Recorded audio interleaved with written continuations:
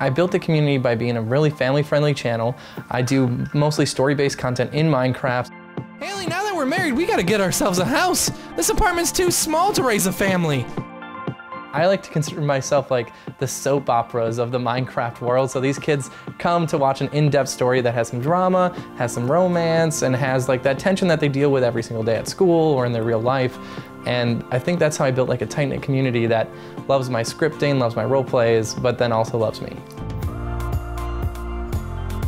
So when I try to engage my audience, I use a lot of the YouTube tools, but I also use parts of my voice, like I'll try to engage them for likes and comments just to see where they're at in a certain series. Maybe they, well, like, what do you think is gonna happen next in the plot? And then that actually inspires me to write different things in the script. Like if a lot of people want this certain thing to happen, I might go back in and change the script and change up the episodes. So I think it's always smart to engage comments, especially when it's related to your content because it allows you to tailor content your viewers actually wanna see.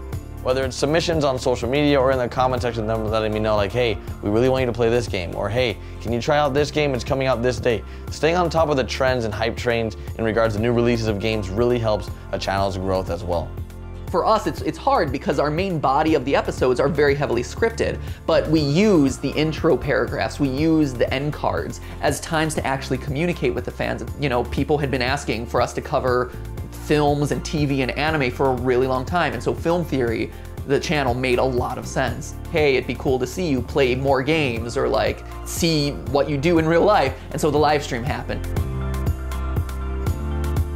First off, the way they behave on camera will really dictate the way that their fans behave, choosing what comments you respond to you know, if you're responding to haters all the time, those are gonna tend to filter up in the comments. Whereas if you're responding to that thoughtful comment, now all of a sudden it shows that, hey, you as a creator are someone who is active in your community, who is listening to what they're telling you and is excited to engage.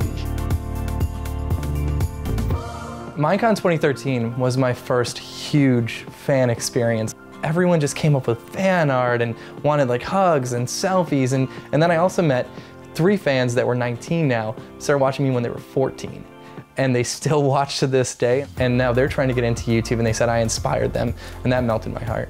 I was at New York City Comic Con and this little girl, she was dressed up as Superwoman and she came up to me and she was like almost started crying. It was the cutest thing in the world and I'm like, oh my gosh, you're my demo. When did this change? But I guess we try and create content that everyone can enjoy and we're, we're reaching people we didn't expect.